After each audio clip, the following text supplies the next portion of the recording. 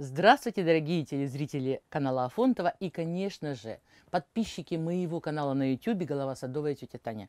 Сегодняшняя тема – помидоры. Ну, не сами помидоры, а вот то, что от них уже осталось. Так что же делать вот с этими стеблями томатов, которые уже все, э, кирдыком пришел, так мы говорим по-сибирски.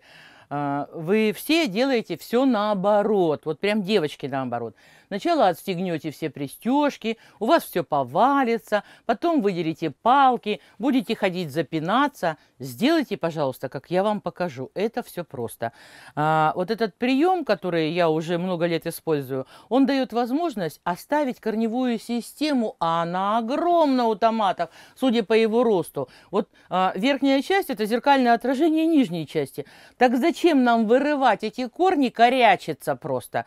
А, все в земле земле, все в э, помидорной пыльце, руки жжет, лицо все обожженное. Не делайте так, пожалуйста. Значит, мы отрежем томаты от корня, оставив пенек сантиметров 10-15. Для чего? Да для того, чтобы вот этот корень а мы еще потом польем, когда все уберем, у нас останутся только корни. Мы польем как следует. Ну, у меня помидоры здоровые, поэтому я полью, закрою пленками, и эти корни за зимнее время прекрасным образом просто рассыпятся. И мы только палочки вытащим оставшиеся, я покажу все. И у нас будет прекрасное органическое удобрение, которое не надо отсюда вытаскивать в компостный ящик, а потом затаскивать назад. Вот это вот затаскивать, вытаскивать, это любимое дело всех дачников-огородников. У меня нет, у меня нет столько сил, у меня желания даже нет это делать. Здесь будут расти огурцы, и никакие болезни здесь уже не существуют, а для огурцов у помидор и огурцов болезней одинаковых нету. Посмотрите, какой плохой сезон. Загнивает плодовая кисть. Все у нее веточки высохли. И если влага здесь будет, то они еще и погибнут. Но сейчас речь не об этом идет. Побыстрее надо все убрать. Отрезаем вот так, смотрите. Раз. Видите, да? Стволик свободно на э, стебледержателях ездит по стволу.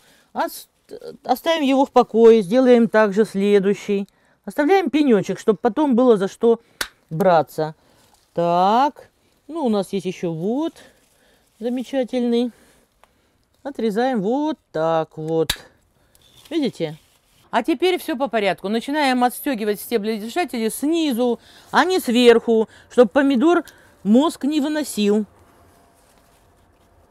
Дорогим огородникам. Вот эти пристежки, они замечательные просто.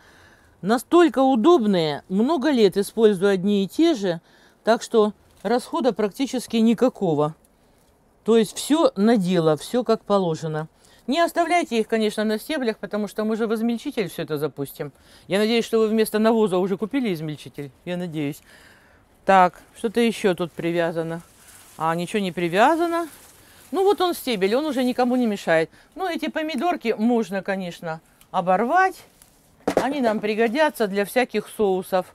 Это все уже за теплицу. Следующий вариант.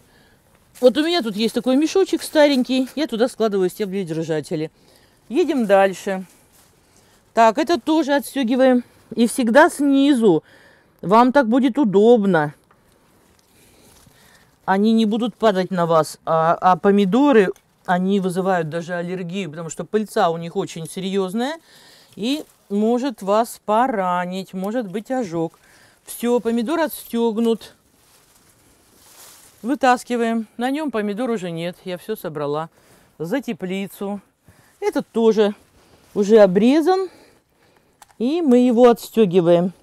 Ну вот я убрала целую секцию практически, да, э, стволов томатов. Я не поранилась, я не вымазалась, заметьте, что я еще достаточно чисто выгляжу. Так, ну, их можно складывать, сбрасывать. Так, здесь есть помидоры, мы, конечно, их снимем. Это замечательный Ниагара сорт.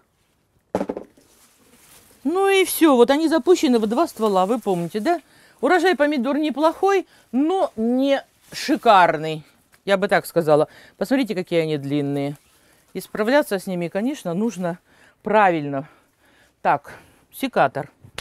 Куда делся? Вот он. Значит, ну и все отстригаем. ряд, который у стекла. Вот видите, он упал, но он не завалился на меня. Это же удобно. Вот всегда делайте так, как, чтобы было удобно, а не так, чтобы маяться при этом. Начинаете, знаете, если честно, когда есть работа, которую неудобно делать, которая доставляет массу, ну, каких-то неприятных ощущений, ее и делать-то не хочется. Ну, когда все удобно и разумно, делать все хочется. Ну и все опять снизу. Все просто. От стежки, смотрите, как устроены стебледержатели. Вот разворачиваешь этот хвостик, на нем такие нанесены как бы стрелочки. Плашмя вставляешь его и разворачиваешь. Все, и он уже держится как надо. Маловато, да? Ну и что, что маловато? А мы возьмем и соединим две. Развернем. Посмотрите, а теперь кольцо получится в два раза больше. И если э, ствол томата находится далеко от э, ну, опоры, можно три таких пристегнуть. Вот правда, мне очень нравится. Значит, это у нас, как я понимаю, это я понимаю, даже не знаю, кто это я. Кого я тут посадила? На каскад не похоже. Ну, что-то мелкое. Пересорство бывает часто довольно. Нашим производителям семян надо отдать должное, что они что-то не очень парятся по поводу чистосортности. Ну, видите, все, ствол у меня в руках. Я отбираю помидорки, которые блестящие. Это обязательно. О, посмотрите внимательно. Видите? Это вершинная гниль. Значит, в поливочной воде и в почве не хватает кальция. И обязательно пролью э, теплицы с кальцинированной селитрой. И это будет очень даже замечательно. Так, ну все, помидорки собраны. Они еще, бедняги, там расцвелись. Посмотрите, какие умницы. Да, прикорневой отросток еще и цветет. А вот это все прекрасно залетит в измельчитель и вылетит в виде вот таких порезанных кусочков. Ну, практически угол уже освободился. Вот смотрите, видите, остались только а, опоры, бамбуковые палки и вот эти корешки. Ну, бамбуковые палки вытащить очень просто проблем никаких нету.